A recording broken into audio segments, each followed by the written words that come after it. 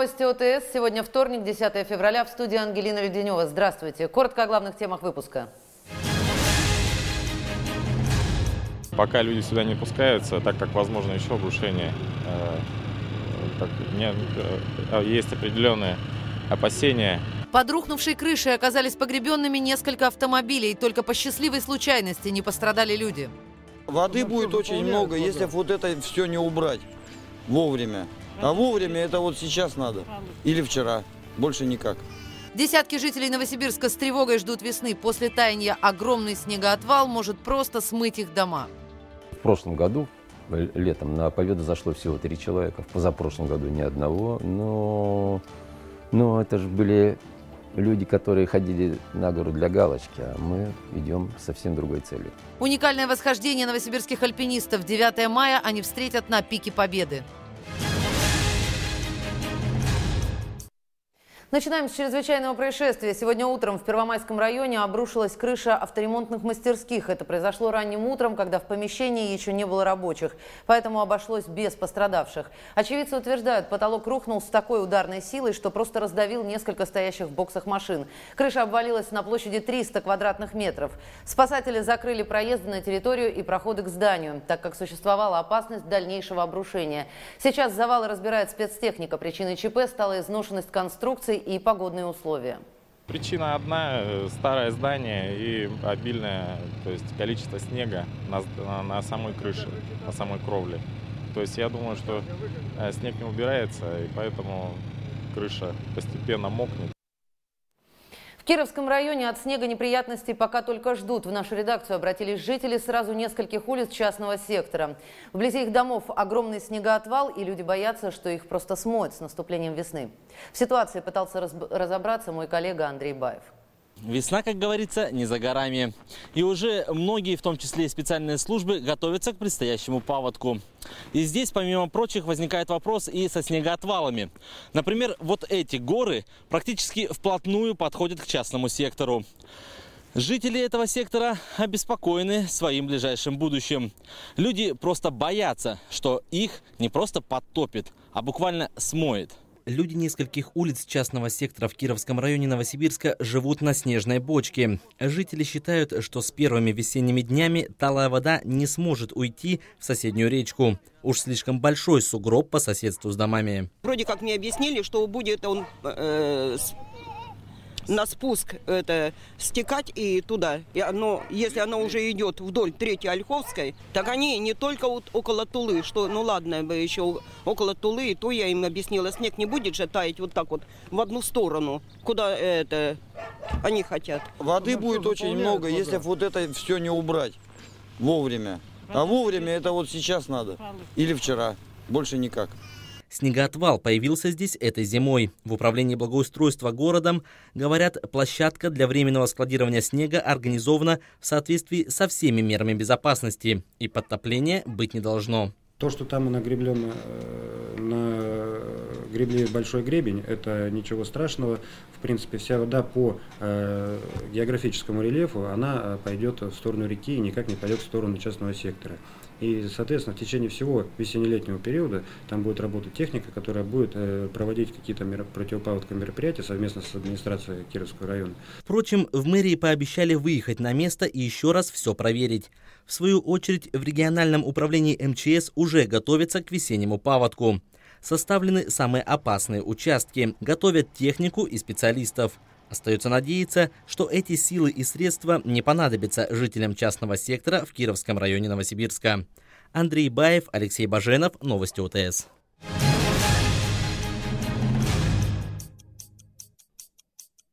Вакансий на рынке труда Новосибирской области в полтора раза больше, чем безработных. За минувший год работодатели опубликовали почти 200 тысяч предложений о работе. Новосибирская область в течение последних лет устойчиво сдерживает такие лидирующие положения, но прежде всего по уровню занятости. 65-66% – это наш средний уровень по годам занятости населения Новосибирской области. Уровень официально зарегистрированной, подчеркиваю, официально зарегистрированной безработицы составляет сегодня чуть более 1%. Больше всего предложений о работе в сфере строительства, сельского хозяйства, обрабатывающего производства. И по прогнозам, в дальнейшем спрос на рабочие профессии будет только расти. Министерство труда поставило задачу модернизировать 20 колледжей Новосибирской области и начать подготовку специалистов по 50 новым профессиям. За последнее время было проверено 66 организаций, руководители которых задерживали зарплату. За 2014 год удалось сократить задолженность в выплатах с 70 до 50 миллионов рублей. Уникальный проект запускают новосибирские экстремалы. Они собираются взойти на самый северный семитысячник мира – Пик Победы. И сделать это в день, когда Германия капитулировала перед Красной Армией. Все подробности далее. Этот путь, он короче, но опаснее, но в то же самое время он защищен от э, ветра. Здесь, когда на важе выходишь, ты просто беззащитный. Сейчас альпинисты решают, каким именно маршрутом пойти на вершину. Окончательный выбор будет зависеть от состояния снега, есть лавинная опасность или нет. Район Пика Победы отличается нестабильной погодой. Температура стремительно может меняться от нуля до минус 40 градусов. К тому же сильные ветра и осадки. Эксперты считают, что восхождение на Пик Победы высотой 7439 метров над уровнем моря куда сложнее, чем на восьмитысячнике. И везет далеко не всем спортсменам. Из тысяч попыток только единицы успешны. Это, видимо, видимо еще от э, харизмы восходителей зависит. Поэтому Вполне возможно, что я очень уверен, что нам повезет. Вот. В этом году, ну, в смысле, в прошлом году, летом, на победу зашло всего три человека, в позапрошлом году ни одного, но, но это же были люди, которые ходили на гору для галочки, а мы идем совсем другой целью. Глеб Соколов, как никто другой, знает цену Пика Победы. Он шесть раз поднимался на вершину, а последние два десятилетия каждый год делал попытки взойти туда по разным маршрутам. Именно поэтому он и сейчас возглавит команду альпинистов. В ее составе не только новосибирцы, но и лучшие спортсмены Киргизии, Казахстана, Грузии. Организационно все решается, конечно, очень сложно. Сам проект, он довольно-таки дорогой, потому что заброска туда вертолетом. Вертолеты у нас сегодня очень дорогие. Вот. Плюс питание, снаряжение, безопасность, обеспечение. Находятся люди, которые помогают. Сегодня мы обратились к губернатору, к мэру с этим вопросом о поддержке. В Народный фронт пытаемся через Москву какую-то помощь получить. Я думаю, что все получится, потому что дело действительно значимое, важное, благое. Традиционно восхождение на этот пик делают летом. В мае удалось подняться лишь однажды в год 50-летия со дня капитуляции фашистских войск. Сейчас задача повторить это достижение. Патриотизм он бывает разный. А, для кого-то а, важно помочь там, тем, кто рядом, да, увековечить память. А если вот альпинисты тоже взойдут и поставят флаг на самой вершине горы Пика Победа. Мне кажется, вот какая-то такая, знаете, в этом такая благая миссия есть, которая просто мурашки по коже, которые, ну, и тут невозможно не поддержать. Экспедиция должна стартовать в марте. Весь апрель спортсмены будут акклиматизироваться, привыкать к высоте, забрасывать наверх продукты и снаряжение. И в начале мая попытка штурма, чтобы в День Победы на Победе развивалось Красное Знамя. Светлана Антимонова, Александр Ведерников, Новости ОТС. Там вы видите, соответственно, указанное точное место работы, которое указано было в вашей трудовой книжке, и тот период, который вы отработали на данном э, трудовом месте. Обычно на Томи плаваем, э, в прорубях, на разных озерах и так далее. Ну, для новичков в этом батутном центре определенный ритуал. Нужно спрыгнуть спиной вот с этой вершины. С Богом! Сегодня бывшие работники ЦУМа вышли на митинг с требованием возобновить уголовное дело в отношении своего бывшего директора. Люди готовы даже объявить голодовку. Николай Сальников разбирался в истории, которая тянется еще с прошлого века. Пенсионерам не дадим победу! Десятки бывших сотрудников ЦУМа готовы объявить бессрочную голодовку. Повод для возмущения – давняя история, из-за которой они потеряли свое имущество. Началось все во время повсеместной приватизации – в 1993 году Центральный универмаг Новосибирска стал акционерным обществом, а многие его работники – его акционерами. Собрали, например, ваучеры со всех сотрудников, кто имел и кто желал быть акционером. Собрали собрание, объявили это. Мы потом по спискам сдали эти ваучеры. И нам сказали каждому акционеру, э, мы значит, кто сколько имеет акций. Сначала акционеры получали дивиденды по своим ценным бумагам и надеялись, что в будущем эти платежи станут солидной добавкой к пенсии. Однако вскоре выплаты прекратились, а сам ЦУМ ушел с молотка за 8,5 миллионов рублей. При этом реальная его стоимость, по оценкам самих акционеров, на тот момент была в десятки раз выше. Люди несколько лет писали заявления в разные инстанции. Следствие нам признало нас потерпевшими в 2013 году в октябре, 2 октября. Потом, значит, начались допросы, и вот в 2014 году в ноябре, 5 ноября, открыли новое уголовное дело. Уже назначили виновного, а, Глазычев Юрий Дмитриевич. Сегодня главное требование митингующих даже не возврат денег и не выплата дивидендов. Людей возмутило недавнее решение суда, и они требуют нового уголовного дела в отношении бывшего руководителя. Сегодняшний митинг бывших акционеров этого торгового учреждения проходит не случайно. Не так давно стало известно, что все государственные обвинения против бывшего директора этого магазина сняты в связи с истечением срока исковой давности. Вопрос того, возымеет ли юридическую силу требования несостоявшихся акционеров, пока без ответа. Николай Сальников, Борис Гладких, Новости ОТС. Сразу после новостей ОТС смотрите на нашем канале мелодраму «Дни надежды». Размеренная жизнь главной героини рухнула в один миг. Муж выгнал из квартиры, дал денег на такси до вокзала, но уезжать из города женщина не захотела. Пошла за советом к сестре, шумной, неунывающей оптимистке Марго, которая в свободное время подрабатывает колдуньей. Та предложила Надежде поискать себе нового супруга на кладбище. Первая же прогулка среди могил поставила героиню перед сложным выбором.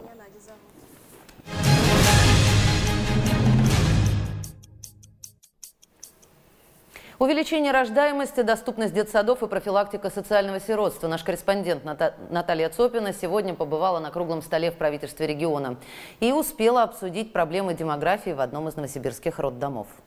У меня уже три сына, поэтому очень безумно хотелось дочь. Ну и вот она улыбается. Молодая мама Юля 9 лет ждала рождения дочери. Говорит, дети – радость в любых экономических условиях. Кризис никакой ни почем. Как рожали, так и рожают. У нас персонал 10 человек в декретном отпуске и пациентов у нас. Мы план всегда перевыполняем. Рождаемость у нас повысилась. Плюс многопрофильной клиники – высокие технологии. Они помогают уменьшить младенческую смертность. К тому же в этой больнице делают уникальные операции. Даже в очень сложных случаях врачам удается сохранить пациенткам здоровье большое количество пациенток, когда имеются, а, предстоят первые роды в 42 года, в 39 лет, это первая беременность, это первые роды, поэтому а, сотрудница наша недавно было родоразрешение, это первая беременность и первые роды в 45 лет. Уже третий год в регионе отмечают естественный прирост населения. Сейчас время становиться родителями тем, кто появился на свет в середине 90-х, а рождаемость тогда была невысокой. В области дефицит матерей, отмечают в правительстве региона.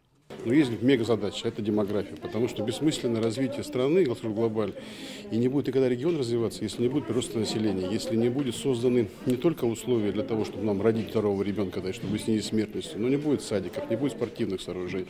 То есть демографическая проблема, она не медицинская в чистом виде. Человек должен знать, что если заболел, то есть социальные гарантии. Необходимо формировать позитивный образ многодетной матери, выводить из кризиса институт отцовства, строить детские сады, заниматься профилактикой социальных социального сиротства. Люди должны чувствовать себя защищенными. Как этого добиться, обсуждают сегодня чиновники. А молодые мамы добавляют главное. Очень долго хотели ребенка. И мы безумно счастливы, что он у нас наконец-то родился. И было бы желание, было, было бы стремление, а остальные все вопросы нерешаемы. Наталья Цопина, Александр Егоров. Новости ОТС.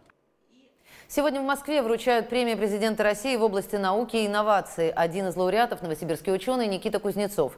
В лаборатории, где работает Никита, изучают ферменты, которые способны повлиять на структуру ДНК. В конечном итоге здесь рассчитывают получить препарат, который способен предотвратить онкологические заболевания и защитить от радиации и других облучений. То есть научиться просто управлять клетками, чтобы восстанавливать здоровые и убивать раковые. Сам лауреат родился в маленьком поселке Глубокое, это в Казахстане, закончил с красным дипломом Новосибирский государственный университет и уже несколько лет работает над этим исследованием. Рассчитать размер пенсии теперь можно, не выходя из дома. В пенсионном фонде сегодня презентуют новую электронную услугу «Личный кабинет». Специальный калькулятор учтет и северный коэффициент, и службу в армии, и личные накопления. Юлия Федосеева с расчетами. Сколько баллов уже накоплено в счет будущей пенсии, как почитать свой общий стаж и все ли работодатели добросовестно отчисляют средства. Пенсионный фонд готов ответить на все эти вопросы в любое время суток. Вся информация теперь есть в личном кабинете. Сервис доступен каждому жителю страны, у которого есть страховое свидетельство. Достаточно зайти на сайт фонда, а затем в раздел «Личный кабинет». Зайдя на главную страницу в этом разделе, вы сразу увидите, сколько, э, какой период составляет ваш страховой стаж в годах, месяцах и даже в днях. Там вы видите, соответственно, указанное точное место работы, которое указано было в вашей трудовой книжке, и тот период, который вы отработали на данном э, трудовом месте. В личном кабинете можно получить информацию и о накопительной части пенсии. Это проценты, которые работники могут переводить в негосударственные структуры. Через интернет отныне будем подавать заявления, заказывать документы или предварительно записываться на прием. Он сможет проанализировать, э, э, весь ли трудовой стаж до 2002 года учтенный в том объеме, в котором он, так сказать, помнит, и он отражен в его трудовой книжке. И он сможет э, посмотреть все периоды с 2002 года, когда и сколько он зарабатывал, в том ли объеме ему это все откладывалось. И вдруг обнаружив, что какие-то периоды работы не попали вот в объект внимания сотрудников пенсионного фонда, уже сейчас, не дожидаясь наступления пенсионного возраста, обратиться в пенсионный фонд и подтвердить те периоды, которые э, пока, а, информация о которых пока еще не поступила в пенсионный фонд. Еще один раздел личного кабинета пока находится в разработке. Он позволит россиянам в электронном виде подавать заявление на установление и выплату пенсии. Идти за этим в отделение службы больше не придется. Юлия Федосеева, Андрей Дулепов, Новости ОТС.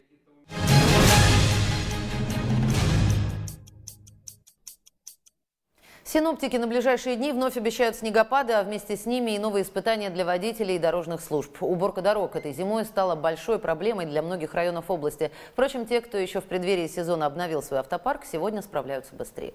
Вот она как универсальная машина.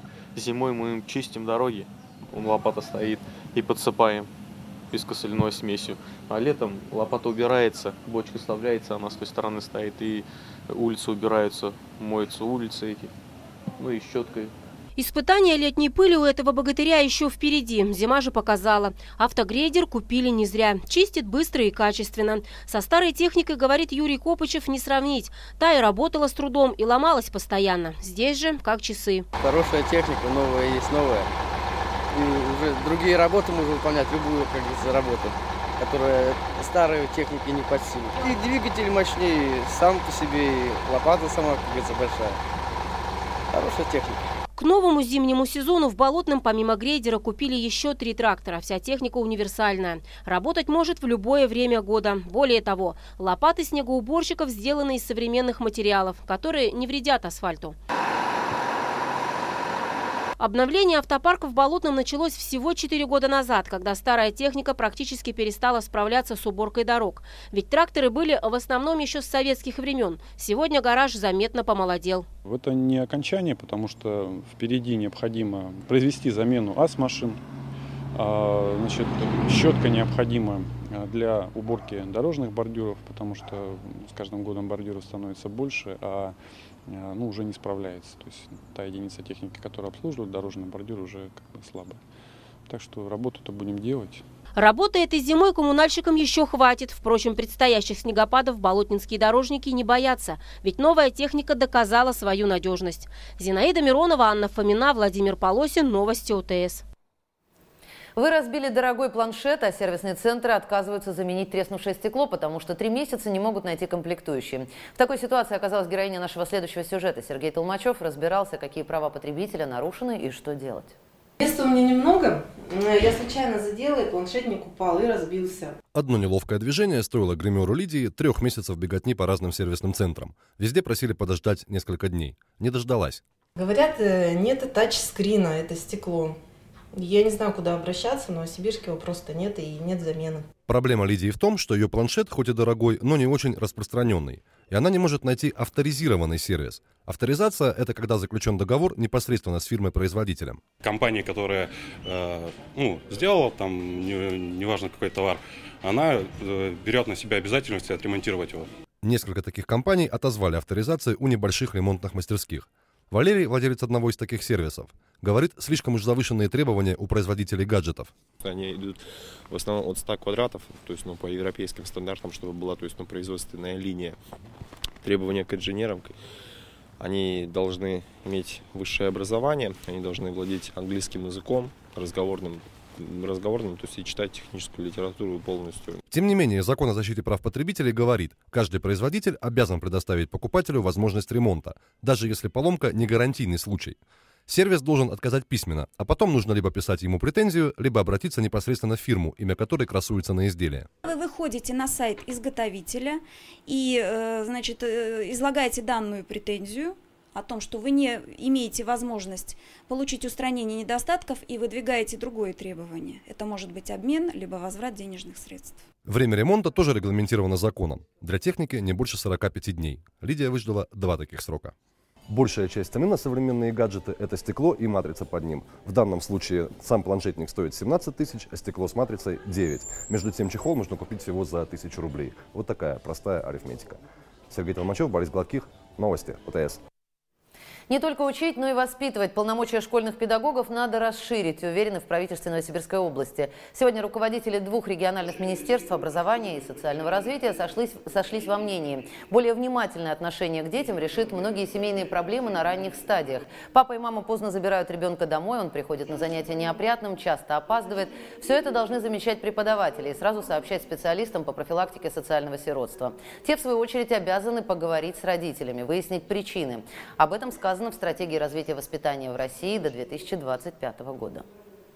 Документ выстроен на открытое обсуждение, коллеги. И я, предваряя как бы, окончание выступления, призываю всех сегодня э, экспертов, участников круглого стола подключиться э, к э, тому, чтобы внимательно посмотреть. Документ небольшой, 10 страничек, уважаемые коллеги. Но это единая и идеологическая методическая платформа, которая при ее обсуждении адекватном и принятии в дальнейшем определит э, порядок действий тысяч, сотен и тысяч э, образовательных учреждений на всей территории Российской Федерации. В детском технопарке, который открылся в Новосибирске, нет вопросов, чем занять школьника. В их распоряжении интерактивные площадки для занятий физикой, естественными науками и робототехникой. На первых занятиях побывала наша съемочная группа. Собрать датчик света и прикрепить к роботу. Задание не из простых, но будущие программисты Фома и Андрей не сомневаются. Сделают все как надо. Чтобы он мог выезжать из, из базы, ехать по черной линии, по черной линии, по кругу. Мы по, собираем. Да, потом он проедет, повернет должен Дальше проехать до красной базы. Тут же можно провести испытания на специальном полигоне. Для занятий по робототехнике в детском технопарке созданы все условия. Электроника, конструктор, современные компьютерные программы. Занятия раз в неделю прийти может любой школьник. Дети с пытливым умом. Ну, хватаются сразу за все, то есть а, какое-то новое задание приношу, они за него хватаются и с удовольствием его выполняют. Занятия по геометрии интересны даже для второклашек. Для развития образного мышления вырезают фигуры, создают сложные коллажи. На занятия в первую очередь приходят одаренные дети, ученики специализированных классов для а, развития именно способностей и мотивации детей Новосибирской и Новосибирской области. Тех направлений, которые в тренде, это именно инженерная технология, это робототехника, ну, естественные науки, инженерия, как мы и говорили. И вообще это, скажем так, будущее самоопределение наших детей. Для этого работает сразу несколько площадок. В лаборатории изобретательства и прототирования установлены лазерные системы для резки и гравировки, 3D-сканеры и. Вихревая пушка, акустический туннель, зеркальный лабиринт. Будущим физикам помогут не только изучать, но и создавать физические явления природы. Большая часть оснащения уже установлена. В полном объеме детский технопарк заработает уже в марте. Елена Подкорытова, Андрей Дулепов, Новости ОТС. Рисунки школьников из Новосибирской области попали на страницы детских книг. Дизайнеры решили, что это лучшее оформление произведения о реках России. Чем покорили юные художники столичных издателей, расскажет Елена Щербакова. Веронике Белых сегодня исполнилось 16, а этот рисунок появился еще два года назад. У девочки нет альбомов, это чуть ли не единственное произведение. Но издатели решили, что оно лучше всего иллюстрирует казачью реку. Я очень обрадовалась. Сначала я думала, что это ошибка, потому что, не знаю, такой глуши живем в деревне, чтобы так нарисовать. Сегодня в Центральной библиотеке состоялась презентация не только этой книги. Полки новосибирских читалин пополнит альманах «Хочу все знать». Помните такой? Серенький. Его листает уже третье поколение. Мне ее даже обложка знакома с давних времен. Я э, первый выпуск этого альманаха я не видел и не помню. Он состоялся в 1957 году. А в 1957 году я уже поступал в институт. А последующие выпуски, они мне попадались. Руководители библиотек принимают книги, их около сотни. Большая радость, подарок, неожиданный, приятный. И на рынке на книжном на самом деле не так много научно-популярной литературы. Мы ее всегда отыскиваем, а тут она сама пришла к нам. Сотрудники библиотек замечают, книги от земляков, новосибирских писателей и художников-оформителей с каждым годом становятся все популярнее. Елена Щербакова, Олег Сурков. Новости ОТС.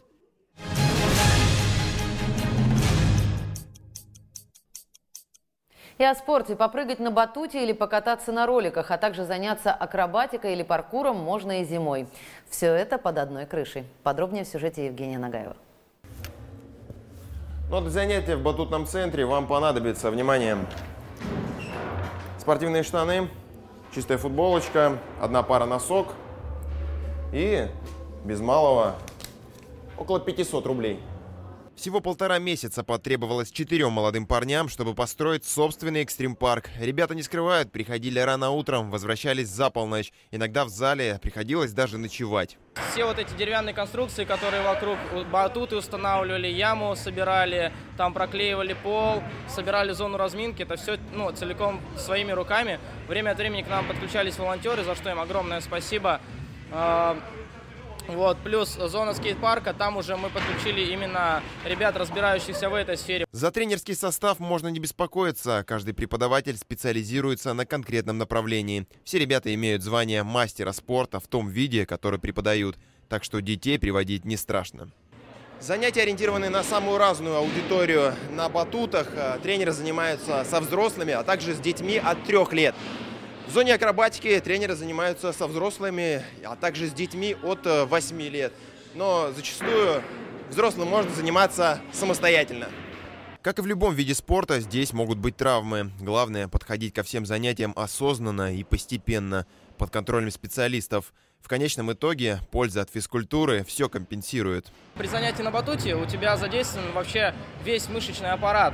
А, конечно, ты не станешь таким здоровяком, качком на нем, то есть ты не раскачаешься, но именно в тонусе мышцы помогают держать, плюс укрепляется позвоночник ты очень хорошо начинаешь его чувствовать, ну, особенно на первых занятиях. Это только со стороны кажется, что все проще простого. На деле усилий требуется очень много.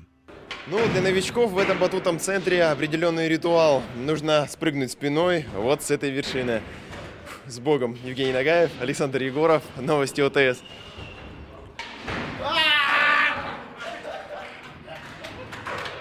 На этом все. В студии работала Ангелина Леденева. Удачи и увидимся.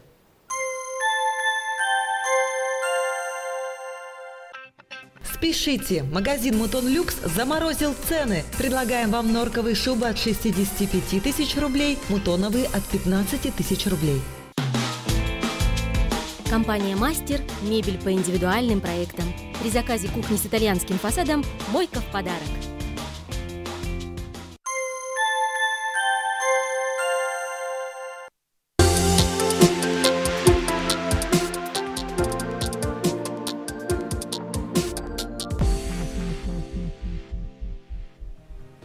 Здравствуйте! Спонсор прогноза погоды – торговая марка «Сакура». «Сакура» – качество, дизайн, функциональность. С бытовой техникой «Сакура» для приготовления домашнего завтрака и 15 минут вполне достаточно. В ближайшие дни по северо-западной Сибири будет проходить циклон. 11 февраля по прогнозу западно-сибирского метеоагентства в Новосибирске без существенных осадков. Ветер южный 3,8 метров в секунду, влажность 76%. Температура ночью минус 12-14, днем минус 6-8. В последующие двое суток временами снег, метели. Температура воздуха в четверг днем минус 4-6, в пятницу минус 7-9. На этом о погоде все. Я желаю вам всего самого хорошего. До встречи!